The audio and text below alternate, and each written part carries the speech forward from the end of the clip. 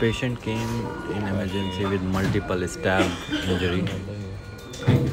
And patient is having severe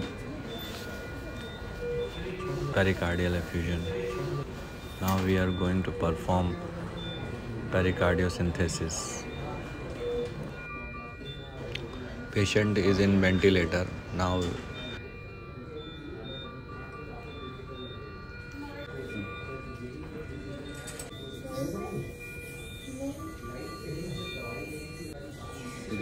we will remove all blood from pericardium with the help of echo we are going to insert pericardial drain and will remove all fluid from pericardium ठीक है ना हाँ ओ sir एक minute now patient is fit